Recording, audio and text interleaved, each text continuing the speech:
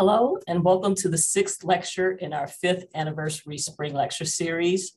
My name is Deborah Hurd. I am the project coordinator for the Department of Black Studies 50th anniversary here at the University of Nebraska at Omaha. And this webinar series is a part of the department's year-long celebration of that milestone. In 1968, the first Department of Black Studies was established at San Francisco State University. Its founding was the result of several years of protests and demands by Black students for a course of study and approaches to research that reflected the cultural and social understandings of Black people globally and historically, but which also provided a means for improving the current lives of those same people. Then, as now, it was a time of social reckoning and accountability. That reckoning made its way to Omaha, Nebraska, and like at San Francisco State and other campuses around the country, Black students at UNO demanded to be acknowledged and their experiences recognized, and so the protests began. Then, on November 10th, 1969, 54 Black UNO students staged a sit-in in the president's office for his failure to address issues of racial discrimination and cultural relevance on this campus. While peacefully protesting, the police were called and all of the students were arrested. The arrest of the Omaha 54 gave not only the student population, but also Omaha's Black community a cause to rally around. Omaha's Black civic and social organizations and churches came together to bail out all of the Omaha 54 students, as well as stand behind them in their, in their negotiations with the university. One of their demands was the creation of a Department of Black Studies. And two years later, as a result of their continued demands of the university administration, in the fall of 1971, this department came into existence, making it one of the oldest Black Studies departments in this country and one of the very few in the entire Great Plains region.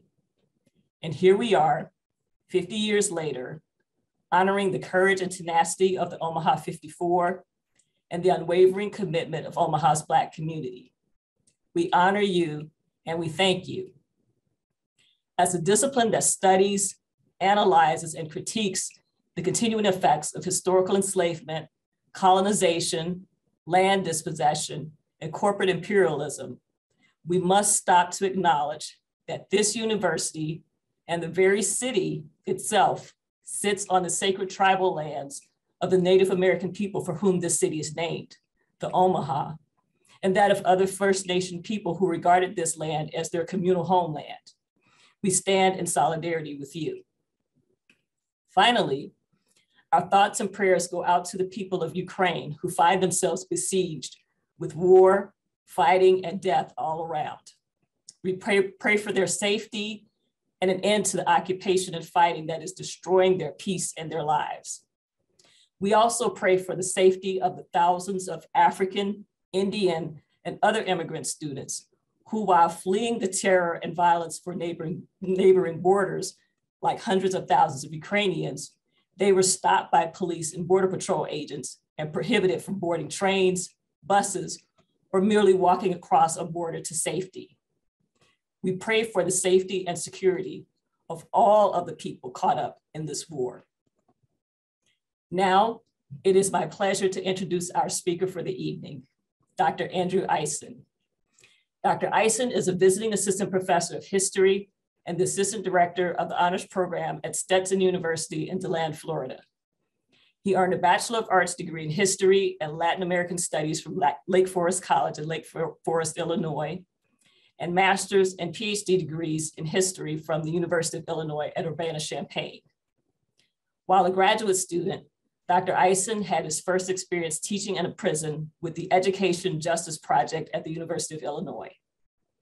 In 2015, he co-founded the Community Education Project with two other Stetson University professors. The Community Education Project is a higher education in prison program offering liberal arts instruction at the Tomoka Correctional Institution in Florida. He's also helped to organize the first gathering of Southern prison higher education programs. Since 2018, Dr. Eisen has collaborated with incarcerated scholars to challenge entrenched, entrenched narratives on slavery and the forced removal of Native Americans in East Florida. This has culminated in the creation of a traveling exhibit focused on histories of resistance to settler violence. So welcome, Dr. Eisen. Thank you so much for having me. It's an honor to be here. So before we get started, I have a few questions to ask you, uh, just conversational questions. Uh, what got you interested in studying history? Yeah, um, so I think my my experience probably wasn't atypical uh, of many. Uh, it was um, one undergraduate class, um, one professor um, who seemed to be asking the kinds of questions that I wanted answered, um, and not answering them for us, but giving us the tools to understand our social world. Um, it was um, during the time of the Iraq War um, protests happening uh, around campus. Uh, and really, um, th this one professor, Steve Rosswurm, was a labor historian um, whose, class, whose classes were addressing the questions I wanted answered.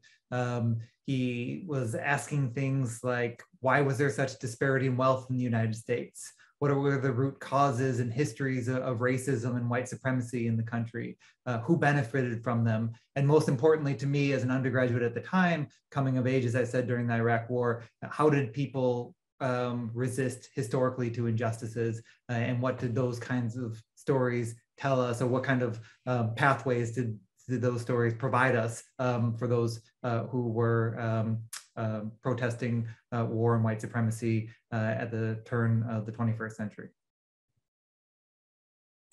Okay, so how did you get involved in prisoner education? Yeah, um, so this uh, happened when I was a graduate student at the University of Illinois.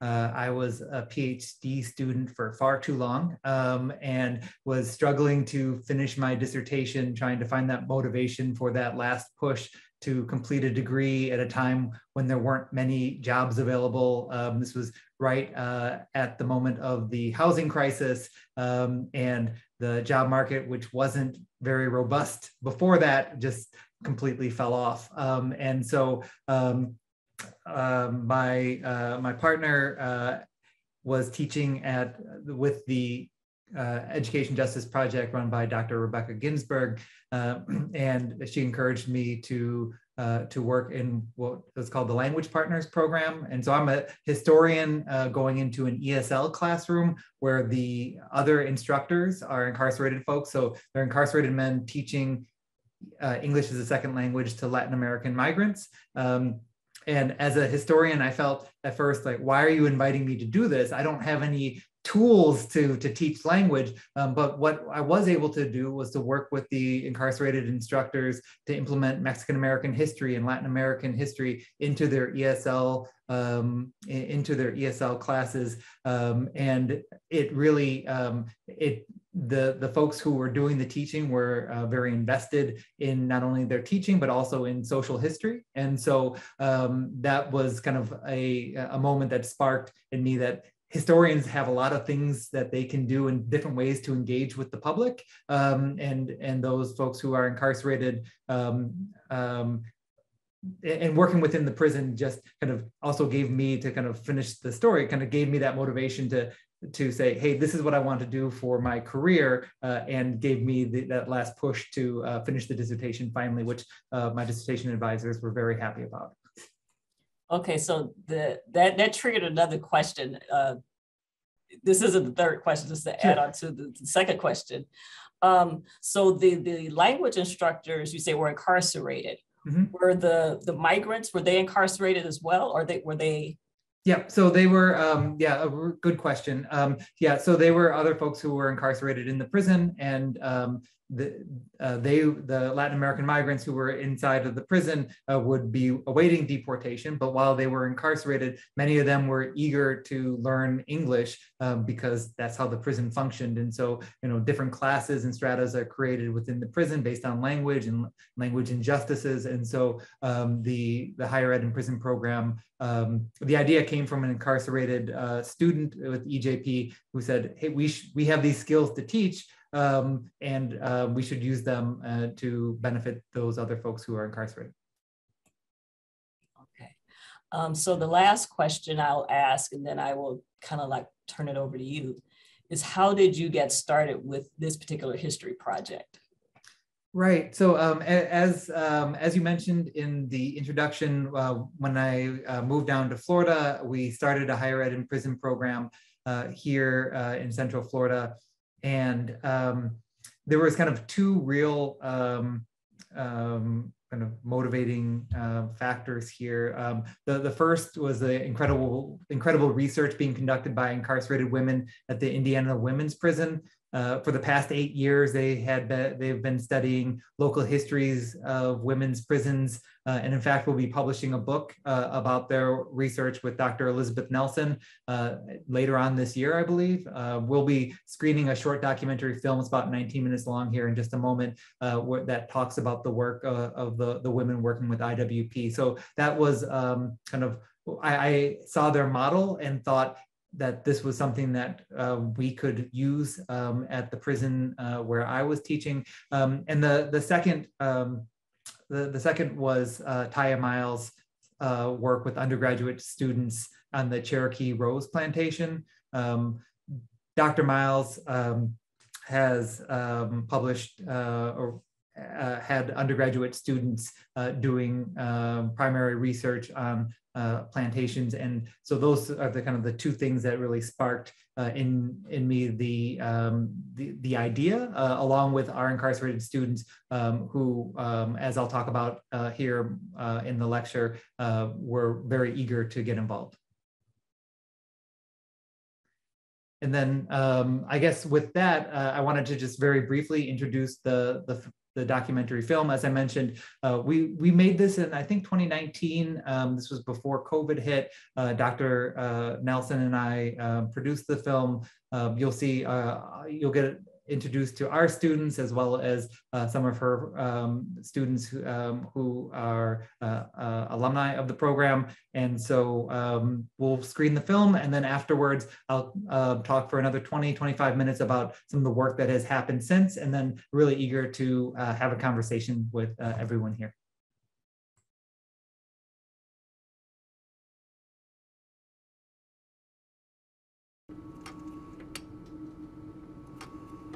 The History Project means to me resistance in its most extreme fashion. It's giving voice to the voiceless, and that includes myself.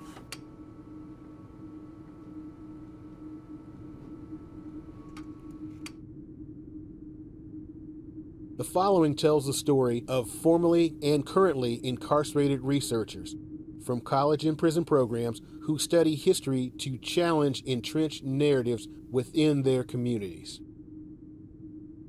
In the Community Education Project, or CEP, faculty from Florida Stetson University offer courses at the Tomoka Correctional Institution.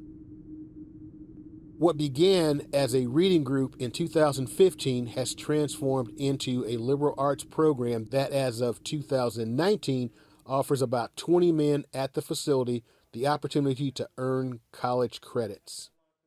I am Wellington Antonio Rosa. I've been incarcerated 20, going on 21 years, and I've been in CEP now three years, working on the Public History Project for a year, going on two years. In 2018, after learning how poorly nearby plantations document the lives of enslaved persons in their public exhibits, a group of CEP students began researching local histories of slavery and Indian removal in East Florida, focusing their attention on the Spring Garden Plantation located about 20 miles from the prison. Following the Civil War, the site became a tourist attraction and in the 1980s was transformed into the De Leon Springs State Park.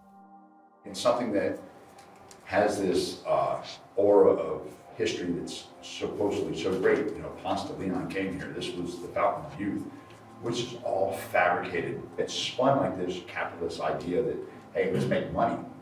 But here's a history of not just one type of people, you know, enslaved, but also, you know, the indigenous. We have, you know, tribes that were displaced.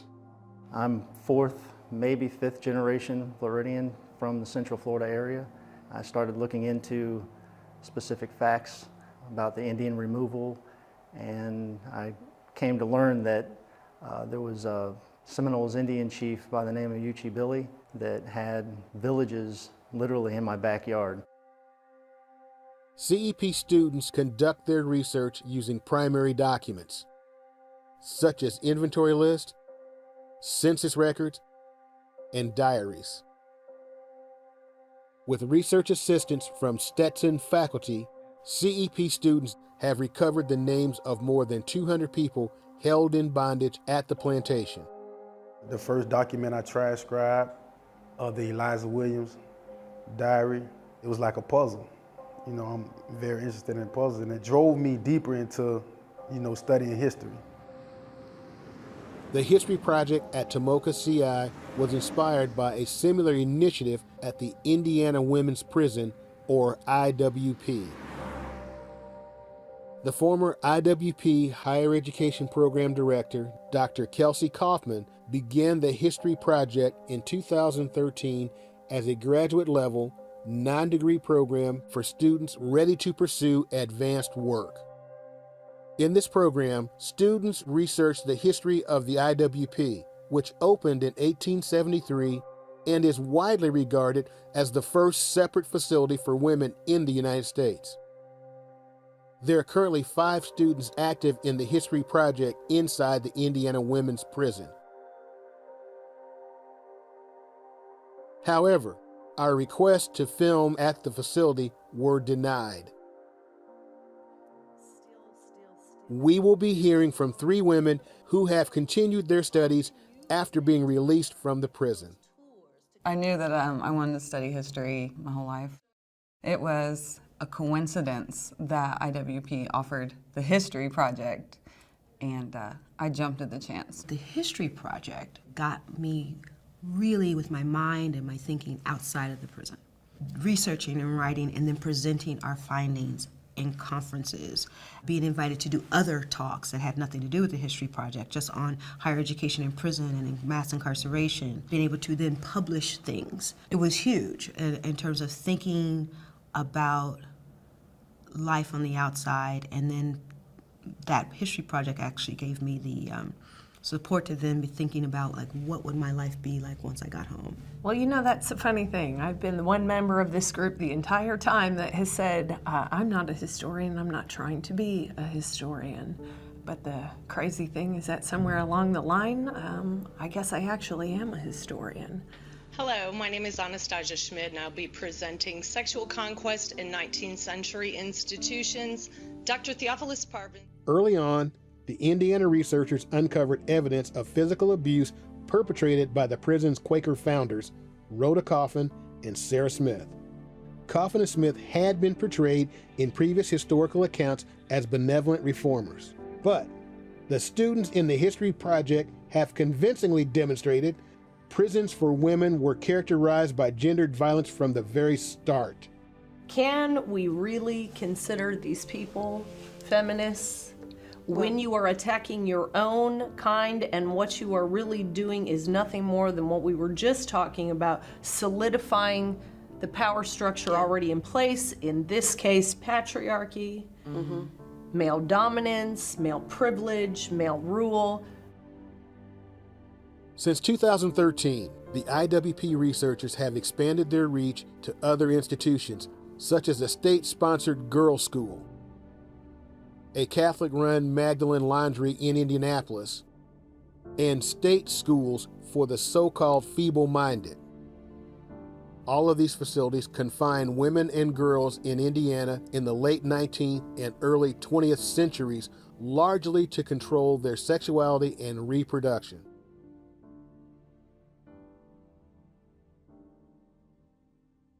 The researchers in the Florida and Indiana projects share a commitment to telling the stories that previous historians have overlooked.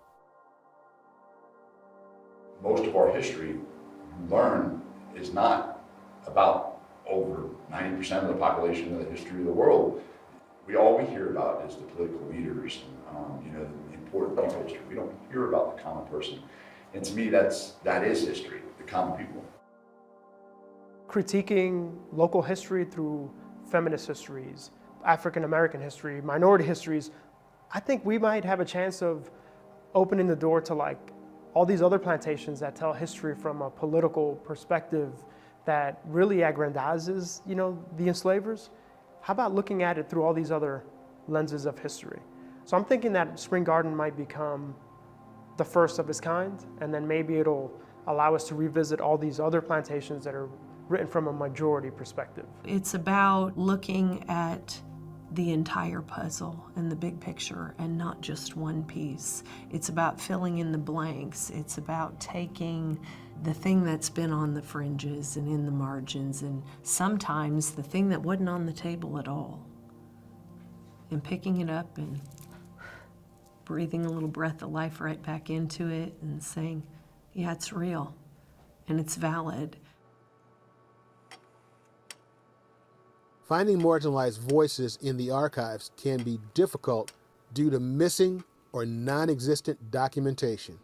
One of the limitations I would say is gaps in the information that we have. You wonder why the testimony from the 1881 investigation is missing from the Indiana archives. Full, full testimony. Missing mm-hmm. from the 1887 investigation as well. Mm-hmm. Yet, Jeffersonville's 1869 investigation, 1873 investigation, I have both of those. And the only records that mm-hmm. we have of like what actually happened in these in these hearings we have because of newspaper accounts.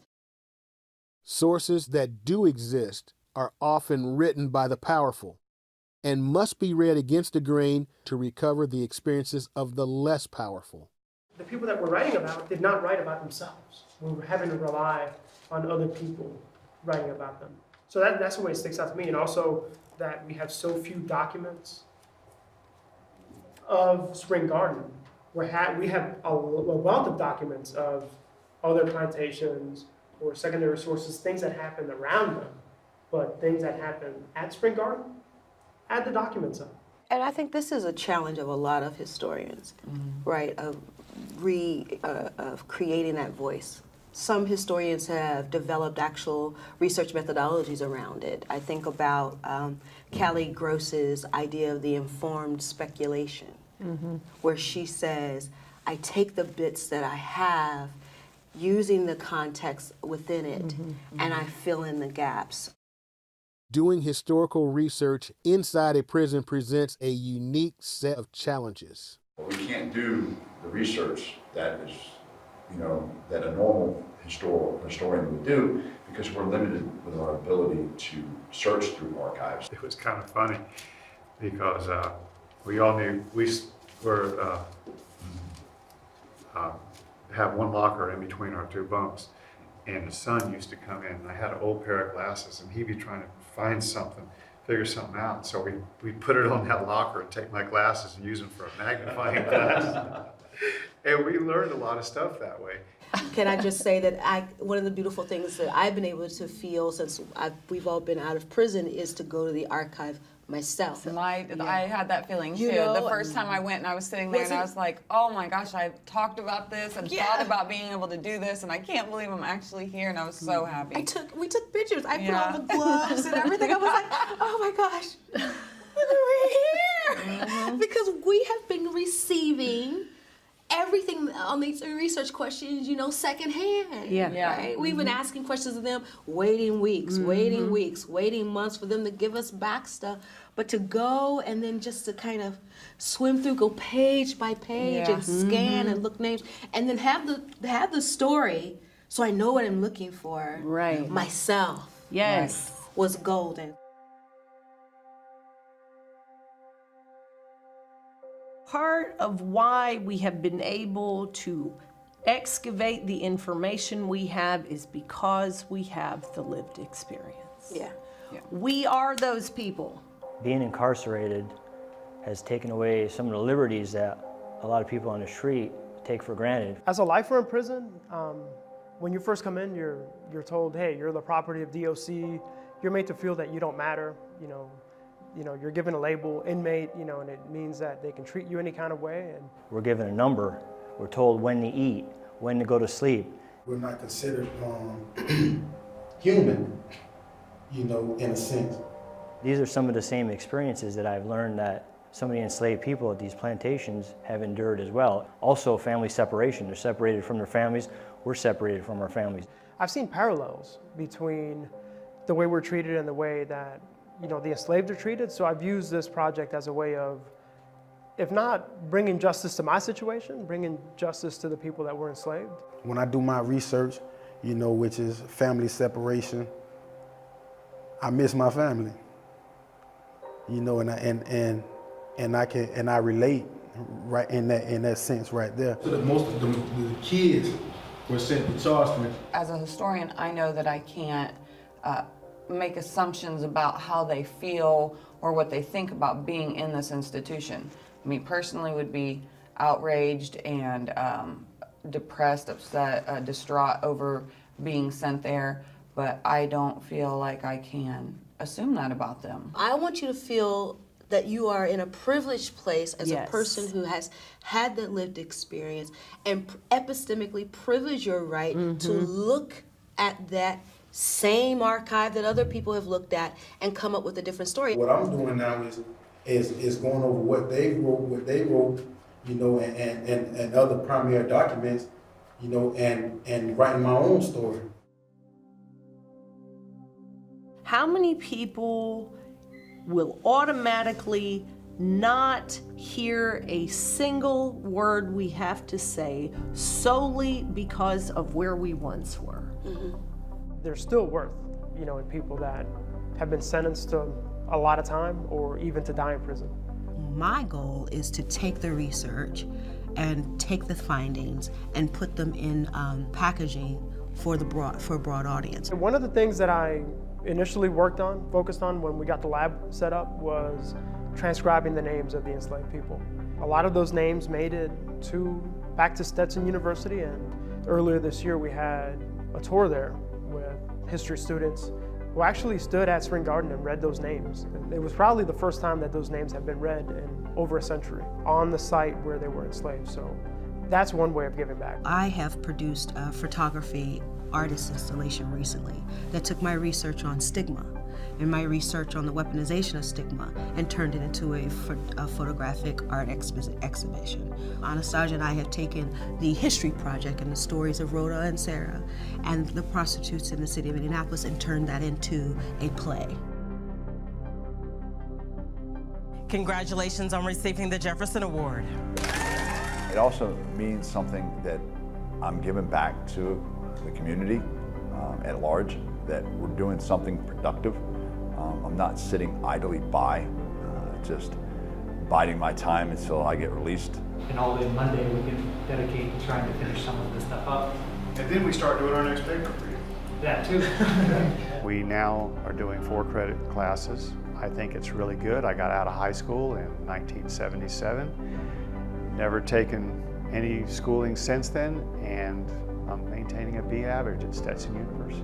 The History Project has meant several things for me. First and foremost, for my personal life, it has given me a second chance at um, a future career, uh, education opportunities that when I was at my lowest, I wasn't sure that I was going to have again. Another thing is, um, is me an opportunity to break the stereotype of what a person is capable of doing in prison. Uh, they say, okay, you're a lifer, so let's warehouse you and, and keep you alive until you die. And, um, you know, I, I think this project has given me the opportunity to challenge that. My whole thing is like, what am I making so that people can use it right now? I have actually changed my whole entire dissertation project based on how can what I'm going to do be usable for people sitting in prison right now. And if it's not going to be useful for people sitting in prison right now, then I need to stop what I'm doing. From this program, that's what I would like to see, you know, go to other prisons and give other guys an opportunity to be a part of something like this. For me, this this has been the greatest, great experience. You know, one of the greatest that I, I mean, despite the fact of it being in prison, one of the best I've had. I always make an emphasis to say, look, we might be doing stuff, and it's cool, because we cool. Mm-hmm. But we're not an anomaly. Exceptionalizing mm-hmm. who we are and what we do is a disservice in, Yes, a, in a way. yes. If Yeah. you give access to resources and opportunities Mm-hmm. to every damn body else who has had a, who has had a similar experience, Mm-hmm. nine times out of ten they will show up Yeah. and show out as Mhm. well.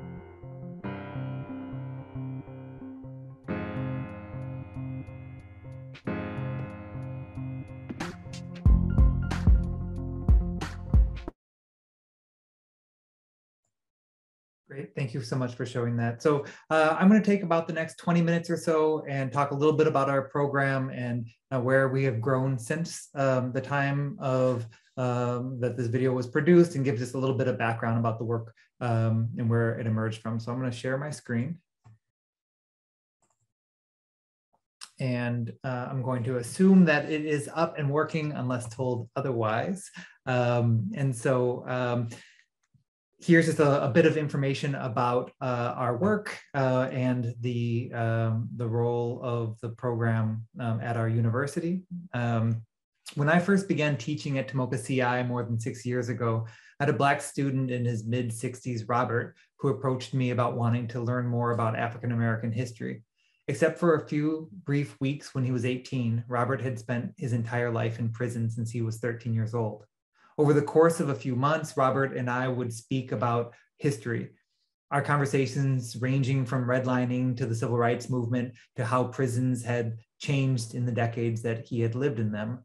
While Robert had engaged in a lot of self study, it was clear he was eager to discuss these ideas with me, and more importantly, to have greater access to reading materials to help him better understand his history. One day, he shared with me a homemade book on Black history that someone in his dorm had made, a collection of stories and photographs ripped from books and encyclopedias, newspaper clippings, and internet printouts that loved ones must have, have sent in the prison. It was at this point, paging through the histories, I began to more fully grapple with the desire that some incarcerated students, especially those from marginalized backgrounds, uh, had to learn about their own histories.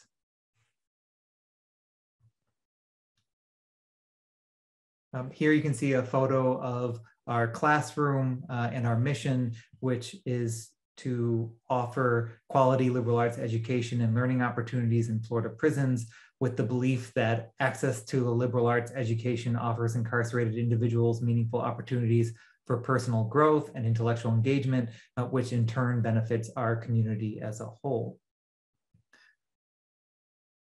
Um, with the history project, um, it came to be that um, they could help our students better understand how racial legacies of criminalization have informed modern day incarceration, uh, one of the things that they are interested in. As Bryan Stevenson, director of the, the Equal Justice Initiative writes in the 1619 Project, quote, slavery gave America a fear of Black people and a taste for violent punishment, both still define the criminal justice system, end quote. The lesson that I took from Robert's homemade book on Black history, the scholarship on the legacies, uh, on how the legacies of slavery continued to shape policing and incarceration in this country, as well as the histories of the local histories of slavery and incarceration in Volusia County, where we live, all inform the historical research that we conduct uh, inside. In Black Reconstruction, published in 1935, W.E.B. Du Bois writes, quote, our histories tend to discuss American slavery so impartially that in the end, nobody seems to have done wrong and everybody was right. Slavery appears to have been thrust upon unwilling, helpless America, while the South was blameless in becoming its center. One is astonished in the study of history at the reoccurrence of the idea that evil must be forgotten, distorted, skimmed over, end quote. Nearly 100 years later, the same largely holds true of the interpretive histories provided at former plantation sites in Florida. When I first moved to Florida in 2014, I was appalled by how the histories of slavery depicted um, were depicted at former plantations. At the De Leon Springs State Park, located about 20 miles from the prison, there were only two panels that mentioned slavery at what had been the Spring Garden Plantation. Both of these panels were sympathetic to enslavers. I found one line in particular infuriating. The exhibit claimed the quote, names of the slaves are long forgotten, end quote. As a historian, I realized that the person who wrote these histories either did not know how to locate the records or simply did not care enough to look. With a simple Google search, I quickly found a slave ledger with the names of more than 30 men, women, and children enslaved at the Spring Garden Plantation. In 2018, I took photos, I took photos of the exhibit and gave a presentation about the public history of slavery in Volusia County to the incarcerated students in our program. A few of the men asked what I intended to do uh, about it. Um, and this is how our public research collective was formed. Antonio, one of the researchers you heard from, explains in the following, quote, enslavers used their power to produce records to secure their wealth and bequeath it to the next generation of enslavers. They generated inventory lists, bills of sales, deeds, wills, and journals in which they commodified enslaved persons. These same record, these same records silenced them by representing them as chattel as opposed to persons suffering an injustice. Available plantation records representing the dominative dominant discourse of a slaveholding society fail to tell us anything meaningful about enslaved subjectivities and lived experiences. Enslaved persons at Spring Garden Plantation deprived of, liter- deprived of literacy lacked the political power and ability to create records of their lives. But by reading records against the grain, Stetson CEP's Public History Project is teasing out lived experience from the slaveholders' silences. Contrary to the park's claim that their names are long forgotten, our research has recovered the names of over 200 enslaved persons spanning a period of about 60 years. Um, here is the traveling exhibit that the men in our program made. One of the items that we're most excited about is our ability to bring our students' research outside of the prison. You saw in the video one example, when I gave tours of the former plantation in my classes, I'm now able to share with students the names and stories of ind individuals that incarcerated researchers have recovered from the archives. At the state park now, the two main attractions are the spring where people uh, go and swim and the quote, uh, or the what, what they refer to as the old Spanish sugar mill, which is a pancake house. When I toured the plantation, we found a quiet, when I, when I toured the plantation with my students at Stetson, we found a quiet space on a trail far away from the pancake house's loudspeaker uh, and read the names out loud of the people who had um, been enslaved there, honoring those who had lived, labored, and died on the plantation. Uh, that experience remains one of the most powerful teaching and learning experiences I've ever had as an educator. In addition, students inform the public about their work uh, through their research. Antonio and Pete, who were also who were in the video, uh, wrote a blog post that explained in more detail uh, their their efforts at uh, recording and finding and interpreting history. I'll post the li the link um, into the chat um, after uh, the, this portion of the talk. Um, we are also now excited to be able to share the research the men in our program conducted in this exhibit that you see on the screen. The men split up into research groups studying a variety of different items, uh, the origins of the plantation, family separation, food cultivation, the Second Seminole War, how different imperial regimes shaped experiences of the enslaved. And we had um, we had a professor in our digital arts program, Madison Creech, teach design at the prison to support the effort. And so uh, the men work together, they split up into groups, and then they design the exhibit themselves with support of a digital arts professor. Um, it might be hard to see, but the photo on the left shows the side of the display that reads, this exhibit honors the men, women, and children recorded as having been enslaved at the Spring Garden Plantation. You are not forgotten. Beneath is a list of more than 200 names the men have helped to recover. In the photo on the right, you can see family members of our students who came out to the public event to see their work. Such opportunities for community engagement do not come often for people who are incarcerated. Four of the six men involved in our project have life sentences. And so the ability to give back to the community, as Ken mentioned in the video, is particularly important for them, as is being able to share their successes with family members. Now, I think it's important to note that students are not just recovering names, but are also starting to tell stories about Black freedom uh, in Volusia County that uh, had otherwise been unknown. Uh, Thomas Stark was the enslaver at Spring Garden Planta- at the Spring Garden Plantation at the time of the Civil War. In his probate records, we have found the list of enslaved persons and their monetary value. Um, and here um, I'm noting with this red arrow, uh, Anthony Stark, um, who was valued at the time at um, $600. And so um, the men have been tracing these histories and piecing them together and um, finding, um, finding uh, important histories of Black freedom uh, that, uh, that uh, include uh, the stories like Anthony's, who in the aftermath of the war uh, helped to found and build a small Black um, community near Enterprise known as Garfield, including the AME church there. In 1867, Anthony appears again in the public records as a registered voter. Um, so the students are kind of grappling with this idea of someone uh, whose family would have endured the Second Middle Passage, who himself uh, would have been um, experienced um, the, the, the, violence of, of, slavery for the majority of his life, who was then casting a ballot uh, during radical Reconstruction. Uh, while Anthony Stark's freedom story is now beginning to be known, and it, um, it's something that Antonio discusses at length uh, in the uh, traveling exhibit, uh, his remains are buried out of sight. Um, so in this slide, you can see um, uh, kind of this wooded area where the Garfield set Settlement Cemetery um, has been abandoned um, and I went out there uh, with a colleague of mine, Bob Sittler, and um, um put flowers by the grave sites that uh, we encountered there. Um, but we're hoping that uh, perhaps in the future we're able to do something more than that um, to recognize this uh, important cultural site. Uh, in addition, um, through the examination of probate records, census records, and newspaper accounts from a local museum, uh, our student Mercury traced the history of another person who was enslaved at the plantation, Malia Stark.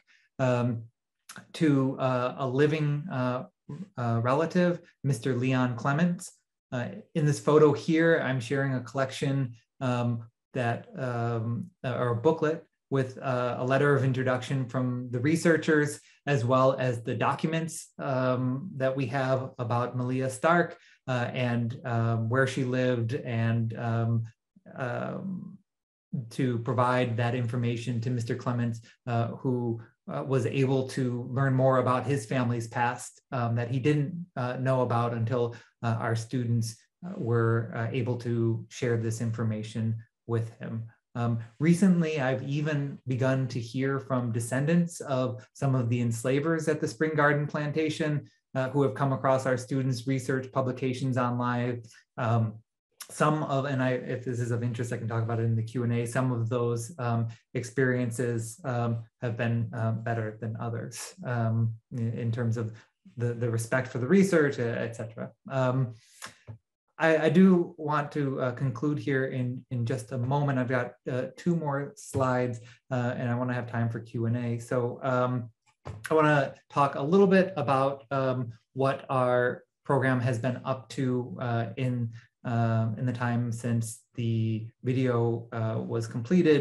You saw the traveling exhibit uh, that was uh, completed. We show those uh, at a, we, we showed them uh, at a, a, local museum, at art galleries. Uh, earlier this year, our program was awarded a grant to create a food studies program at the prison. you can see the garden beds that we installed there and um, part of the grant is to um, create this learning landscape that we're incorporating into the history project. Uh, for the past few months, uh, students have been growing tomatoes, peppers, okra, and herbs that um, they're going to be and have been donating to the prison's kitchen to enhance diets. Um, and uh, earlier this summer, our garden manager, Rick Wheatley, visited the nearby Bulow plantation, um, where indigo continues to uh, grow wild. Um, it's a, an invasive species. Uh, indigo was one of the major cash crops in the 18th century British East Florida.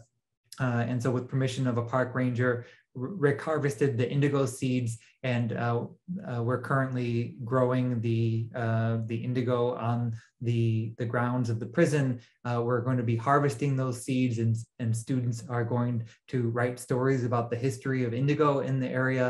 Um, and um, hopefully this summer we'll have a chance to do some seed exchanges with local community gardens, um, farmers markets to kind of to um, bring awareness uh, to this history. Um, it's a it's a strange experience living in Central Florida, where folks uh, oftentimes make claims that um, Florida isn't part of the South, um, and so. Um, I think this is one of the reasons why we get such poor local histories. Um, um, and uh, as you can see in this slide, for example, um, this is me giving a tour at a plantation, uh, the, the Dunlawton plantation. Uh, it's referred to as a sugar mill garden now. And um, it is kind of an example is not just the spring garden plantation where the histories are so poorly told, um, but here in this part of Florida, um, uh, there uh, during the Second Seminole War, more than a dozen plantations were burned down. Um, and what remains of them um, are um, well, many of these properties are now owned by the state and they have um, very poor records of telling uh, the stories of enslaved persons. Um, Dun the Dunlawton plantation, for example, uh, in the 1950s became a theme park called Bongoland, um, which included caged baboons and um, and uh, large concrete dinosaurs. And so in the present, the, um, the former plantation site is uh, now uh, a, a, garden uh, and they really lean on this history of the dinosaurs and not noting that it was a Jim Crow tourist destination, not noting that this was a plantation that was burnt down. Um, I gave this tour here uh, earlier this year in January um, uh, using research from our students and um, presenting it to MFA students at Stetson, uh, some of whom were kind of visibly upset that they had been taking their children to this area for years and didn't know that they were on the site um, of a former plantation. Um, and so what I'd like to do as just a conclusion is um, just to, to think about the stakes of this research and what it means to some of our students. And I want to read, it's about a page long, so bear with me. It's from um, Antonio, but I think it's a powerful, uh, it's a powerful um, note about what the research means to him. Um, and so uh, I will, uh, I will go ahead and read that now as a conclusion. According to Marisa Fuentes, the author of Dispossessed Lives, enslaved persons are silenced in the archives by the narrative told by their recorders. They are not allowed to tell their own stories. The quote, violent systems and structures of white supremacy created devastating images, end quote, of enslaved people that erased them and led to their social death. What we can know about them is limited by what and how those in power decided to document about them. In a previous paper for an ASH conference, I mentioned that I was drawn to the Public History Research Collective because of the similarities between enslavement and modern incarceration. Thinking of the likeness within the context of Marisa Fuentes' discussion of the archive has led me to explore a deeper motivation for partaking in this project, my desire to buck against the narrative imposed on me by the penal system. Since my incarceration two decades ago, my footprint on society has ceased, Instead, my life has been lived within the legal and correctional archives. The legal archive began with my arrest report and my mugshot. I then made a brief appearance in court records.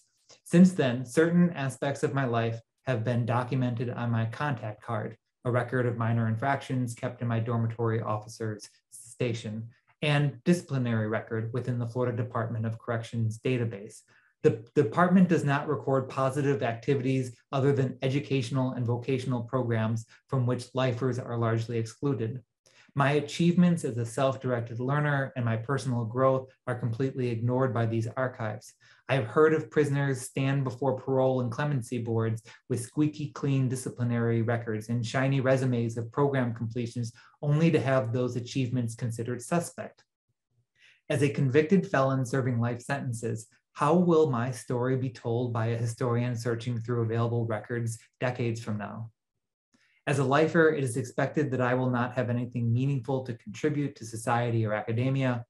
The Florida Department of Corrections suspects that men like me are either violent gang members. Up until earlier this year, I was listed as a member of a security threat group because of a sergeant's claim that I admitted membership to him, or a drug user, the department routinely, routinely administers random drug tests. My decision to avoid drug use, violence, and gang membership are directly related to my desire to define my identity against the expectations of corrections professionals. My pursuit of higher education through self-directed studies and now as a Stetson CEP student is integral to my self-definition, self-definition my submissions for academic conferences, articles for process history, and work on the Public History Research Collective's exhibit on the Spring Garden Plantation are opportunities to leave my own trace in academic and public archives that expand the narratives that may be told about me in the negative legal and correctional archives. While I can't extricate myself from the prison industrial complex, I am challenging the narratives that are propagated by it. Thank you.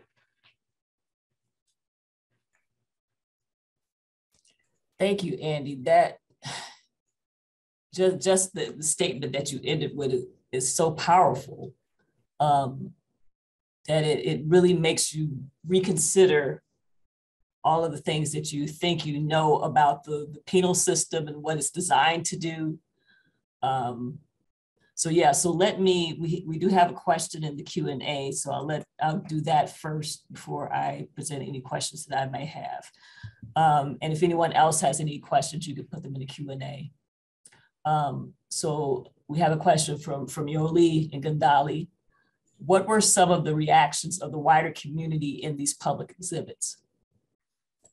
Um, so I'll, I'll, be honest, they, they were pretty mixed. Um, there weren't, um, um, let, let, me start with the positive. Um, there were, um, um, as I mentioned, our, our students' family members were able to come out um, and that to me was uh, kind of a, a exceptionally important that uh, the, the men in our program, as I mentioned, four of the six um, have life sentences. And so um, there's very few ways for uh, incarcerated folks to engage in civic, uh, um, civic engagement. Um, and so um, our students are rightfully very proud of their work, uh, have been doing this for a long time, spent hours and hours transcribing documents. Um, Antonio uh, transcribed an 80 page um, Spanish language um, document that um, was uh,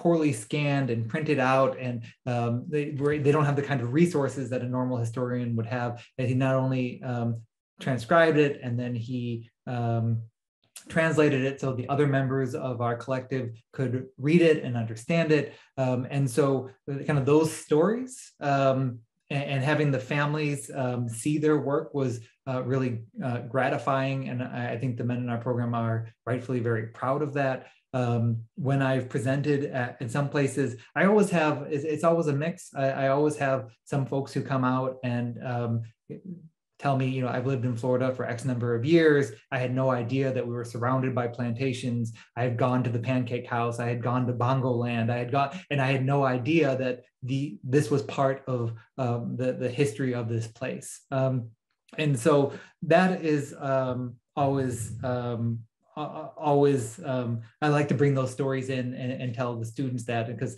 uh, almost everything that they learn about how the exhibit goes is filtered through me, right? Um, they don't have access to the internet. Um, they they um, I, I, print out things, I bring them in uh, stories about the project, I, I share with them, but um, they they they're pretty reliant on the information that I bring in, and so I, am grateful to be able to bring in those positive stories. Um, sometimes I'll give a talk and someone will write a nice note afterwards, and I can share it with them, and, and that's meaningful. Um, but then because we are living uh, as we always are in a contentious time, uh, one in which um, uh, white supremacy is on the march. Um, I, I, get a lot of pushback, um, not pushback on the history because the history is sound. Uh, the, the men have uh, documented their work. They have um, um, footnotes for all of the claims that they are making, and we share them, the resources, where the information comes from. What they, what uh, the public doesn't like is that um, that it is making them think about this place that they love, uh, and here I'm talking about white folks, um, in a way that um, that they don't want to think about. Um, they don't want to think about the, the histories of violence uh, the land that we um, that we currently inhabit. Um, they don't want to think about the abandoned cemeteries and, and why those exist. They don't want to um, uh, think about uh, the, the violence of chattel slavery and the, the wealth that was built in this area because of it and who was left behind. Um, and so um, that discomfort um, is often couched um, in trying to get us to modify how we tell the story. Um, so they what what they won't make any claims that the history is wrong. It, it's a question about emphasis. So why do you spend all the time on this part, but you don't talk about all of these other things? Is is what I normally um, uh, is is the the most civil critique I normally get. Um, other times when I'm giving tours, um, I've had people yell at me in the middle of tours, interrupt my talks. Um, we are in, um, we, you know, we're we're in Central Florida, uh, and um, people feel very strongly about how white people feel very strongly about how they see their roots in this area, and they feel some have felt like this is an attack on them. Thank you for the question. So uh, let me back you up just a little bit because you you mentioned having to bring in um, the documents and Antonio having to to translate, but kind of walk us through because when when uh, I talked to you um, I guess it was last summer when we all met. Um, there was a, a, a, long process because they didn't have internet, you know, yeah. so the work that they did is phenomenal.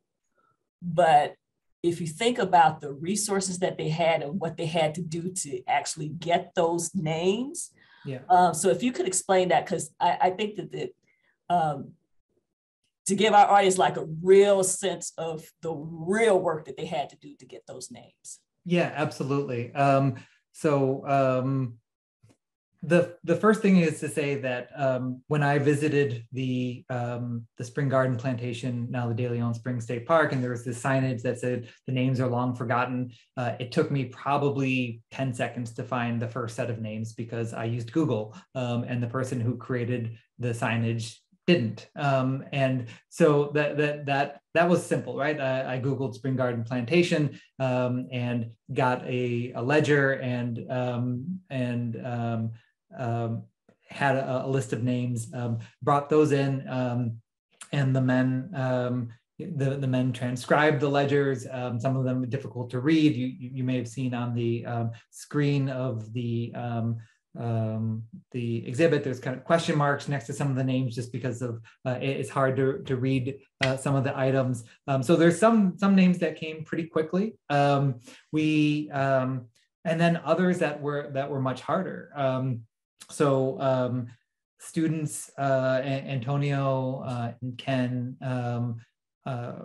Uh, transcribe diaries um, from um, people who lived around the plantation um, and uh, learned that one of the enslavers there had been loaning out uh, individuals, uh, had been renting out individuals for um, for seasonal labor essentially. And um, that was a common practice. And some of the, they found some names through um, through the, the transcription of the, the transcription of diaries from people who resided nearby the plantation. Um, other uh, probate records um, that seven, eight pages of um, cursive that I would, again, uh, before we, it was easier once we got a computer lab. When we started, we didn't have a lab. So everything was printed out um, and then uh, the men would, uh, in their um, notebooks, would uh, would transcribe by hand. Um, uh, now, now, now, that's where I want you to, to, to kind of flesh that out yeah. because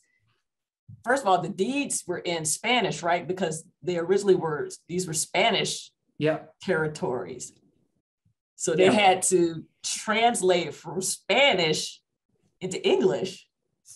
Yeah, so they had uh, so they had to first uh, transcribe these um, these documents that um, were hard to read uh, on a computer, let alone on a printout, uh, transcribe the Spanish and do a kind of like guesswork of what was there. And then once we got a computer lab, they went back over and reviewed the, their transcriptions, but they were transcribed in Spanish um, when this was part of the, the Spanish territory. Um, and then uh, Antonio, who is bilingual, uh, would kind of, um, he would uh, have little tags next to uh, anything that he knew that he needed to um, to um, then translate into English for folks who had kind of split up into these different groups. Um, and so it was a process. Um, you heard from Pete in the um, in in the video uh, about um, having a magnifying glass through a window and trying to read through uh, read read through these handouts. Um, it's not an experience most historians have had to endure in the present, right? and so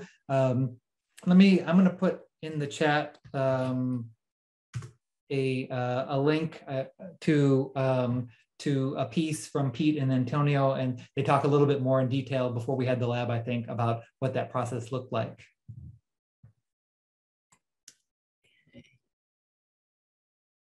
See, we have a couple more questions.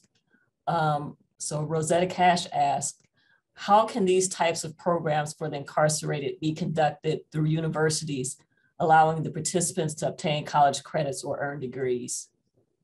Yeah, a really great question. Um, it's hard. um, we are able to run our program um, largely through grant funding. Um, all of our program operations are uh, either from individual donors or through grant funding. Um, we began our program in 2015, uh, and there was nothing in the state like that at the time. Um, in 1994, Pell Grants were removed um, for people who were incarcerated. And so the, the college and prison programs that were largely um, community colleges um, had long um, um, um, been taken out of the prisons because uh, they couldn't charge tuition. Uh, and so there it was pretty barren in terms of the kinds of uh, college programming in the state. And so when we started our program, we were the first four-year institution, liberal arts institution in the state um, that were, working. And we had a goal and a vision to bring uh, credit-bearing programming and uh, would love to be able to do a degree-bearing project. Um, haven't been able to make that happen yet. Um, we're, we're, lacking in resources, both um, financial, but also uh, we work at a small liberal arts uh, institution and it's hard to get um, enough professors to go out um, and teach in the prison because uh, it's not like teaching. Um, I mean, in some ways, um, of course, it's a very rewarding experience, but there's a lot of hoops and obstacles that one has to go through in order to just get to the classroom. Um, COVID has made things uh, much um, more challenging. Um, the the men in our program they all live in dorms, and so they're they're living with and around 70 other men, um, and so um, um, during this most recent uh, uptick in um, COVID cases, we would go to the prison and all the dorms would be on lockdown except for one. And so we'd only have two, three students. And so um, we have a vision for trying to build out that project where we have more credit bearing programs, uh, pro credit bearing classes, um, have more um, uh, kind of work towards a degree bearing uh, uh, program, which is a goal, um, but uh, COVID has um, has made that really challenging. Um, if there's questions about just higher education in prison more generally, uh, feel free. I'll, I'll, put my email down here. I'm glad to chat and uh, uh, with anyone who, who might want to, to learn more, and I can share resources. Okay, and and going back to the accessibility because you were saying, or you had mentioned previously, that when you first started, they didn't have access to computers, which was why they had to do all this transcription by hand.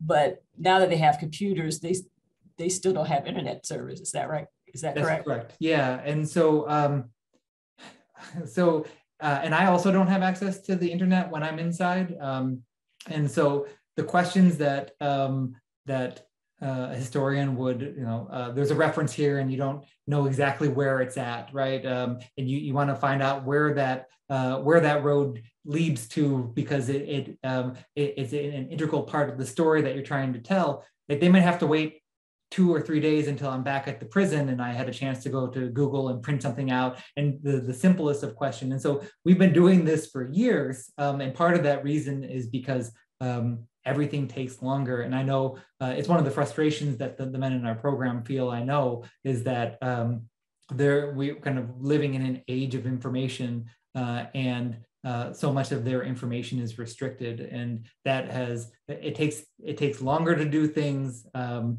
it takes um, longer to kind of double check and fact check things um, and um, and so um, yeah the, the computers have been incredibly helpful. Uh, we were able to design the exhibit um, with uh, with the support of faculty members, um, with uh, and wouldn't have been able to do that obviously with without the computers. But um, we're, we're still very restricted in, in what what uh, students have access to. Um, fortunately, when that piece came out from Antonio and Pete from Process History.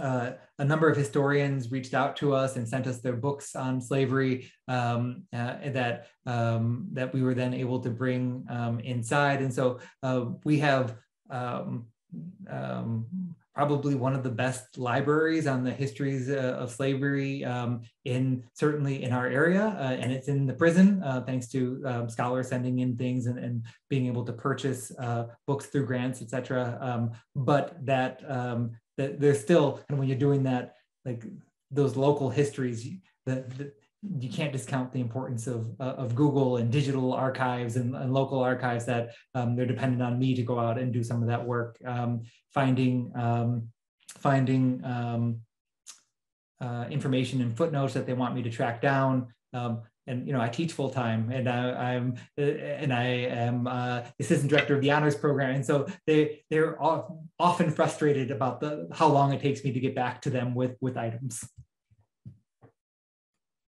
Okay, um, so we have a question from Amy Schindler. She's our director of special collections uh, here in our library. Uh, in my own job in the cultural heritage section sector, I join many colleagues in growing concerns about the over-reliance on unpaid, uncompensated labor by non-incarcerated students and volunteers. How do you continue to self-monitor and critique the labor that Antonio and the folks are undertaking without benefit of direct compensation or course credits? Um, so that's a really great question. Um, and um, I would say um, a few things. So the the men in our program um, do receive college credits, um, and uh, but not for this project. Um, in fact, it's one of the um, um, it, it, it's strange how the the ability to work with men over the course of a series of years uh, kind of is different than working in the undergrad uh, kind of the traditional undergraduate classes where you may have a semester with students, right? So we've been able to, um, uh, this is not um, a benefit of the prison system, just kind of uh, a description of it, rather, uh, that we have been able to work over the course of years uh, on this project. Um, but um, to this point, we aren't allowed to compensate them. Um, we, um, um, it is against uh, the regulations of the prison to compensate people who are um, who are incarcerated, um, and we follow the rules that the prison give us. Um, otherwise, we would lose access to it. Um, and um, I think it's a, it's a really important question. Um, I don't, and I can't speak for our students, and I, I wouldn't dare to. I would say my reading of what Antonio says at the uh, that that passage that I read from Antonio is that this is something that he engaged in um, precisely because it provides an opportunity for him to be um, to to be um, to act in a way that uh, and, and, to be seen in a way that most incarcerated people aren't uh, and it as he says bucks up against what is expected of him. Um, and so for him uh, again i don't want to speak for him but my reading of that passage is that it's an act of resistance um, and uh, one that is important to his own self-identity um, his ability to um, I can't I, I, can't say what it would be like. I don't know what it's like to be incarcerated for 21 years, like Antonio has been with a life sentence. Um, compensation, uh, if we could, uh, we would do it in a second, and and I think it's important. Um, it's just something that uh, we're prohibited from doing. So um, I appreciate the question.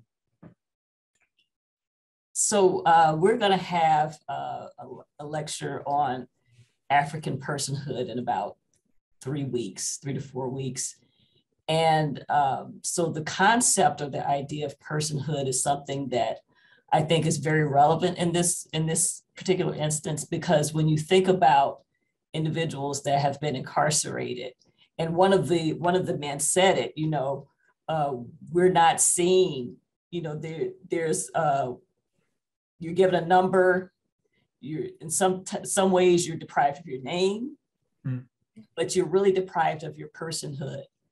And so um, I think that Antonio's statement and, and some of the statements that some of the other men made, this is a way of kind of restoring that personhood. Like people don't see them as people, right? And and I think when when we we talked this summer, you had mentioned when um, you took the exhibit out that they did and their family members got to see it and people in the public got to see it. And for them it gave them a real sense of pride right? Because they did something to contribute um, where people still may not recognize their name but they know that they did it and so uncovering the names of these enslaved people in a way was uncovering their own names because you know still people won't recognize them but they've given agency and names to these people who were enslaved who were invisible up to that point. I think that's a really uh, a really great way of, of putting it. And um, the the capacity of people um, behind bars to to do incredible things um, uh, I, I, don't know that the public at large uh, thinks about that, right? Out of sight, out of mind. That's why prisons are often in rural areas. Um, and it's um, uh, like like the men had, had said, um, you're told when to sleep, you're, you're told when to eat. Um, all of these things that in uh, what uh, Mercury referred to as the free world, um, we take for granted um, that uh, being able to work on this project, um, being able to contribute something to public knowledge, um, to um, address wrongs in the public history of this area. Um, it, uh, I will say that the men uh, in our program uh, who participated in the research, the Public History Research Collective, are, are incredibly proud of their work. Um, I think rightfully so. And uh, to to your point uh, about kind of um, being able to um, challenge the dehumanization of the prison system to um, to assert personhood. Um, I think all of those things factor into why someone might decide to spend their time doing this work um, uncompensated um, hours and hours straining their eyes doing um, doing this work um, um, for all of those reasons it, it also seems to be, in a way, life changing, right? Mm. To recognize that you can actually do this type of work. You know, you've been incarcerated. There are people saying that you're basically not human. Mm. But then here you are able to do this work that people who made different choices in life or had different circumstances in life and may have gone, you know, gone to college and gotten degrees you're able to do that same kind of work, even though you're behind bars. So don't you think that that's kind of uh, mind altering, you know, mm life changing? Because I, I, looked at the women in the documentary yeah. And so you had these women that, you know, they probably, when they went in, they probably had no idea of what they could even do. Mm. But then they come out and you see these three fascinating women doing all this work, getting, you know, master's, doctoral students, you know. Yeah. People don't think that people that go into prison can come out that way, but that's what the prison system is not all about punishment, it's supposed to be about rehabilitation, right? So there's this, these projects really help to transform lives, do they not?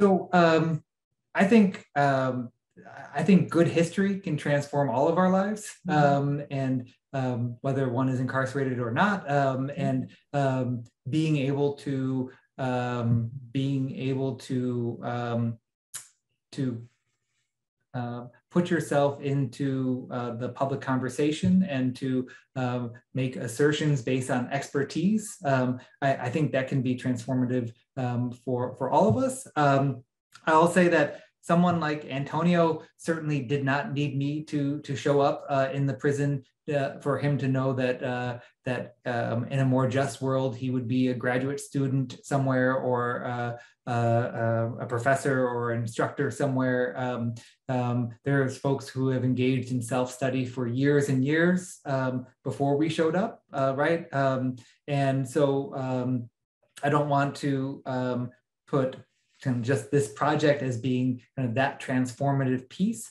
Um, but I, I, will say that there are other folks, um, and you hear this in college, uh, prison um, um, programs across the country where folks just say, I had no idea I was this smart.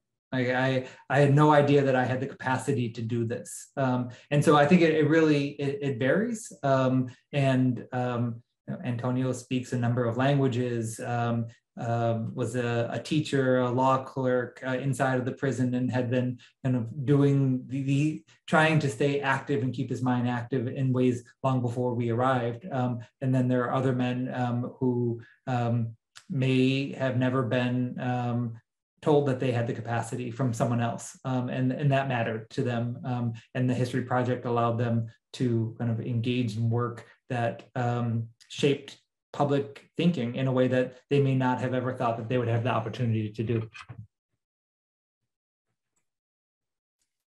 All right, so it looks like we're about at time. Uh, if there are any other questions, you can type them in the Q&A right quick.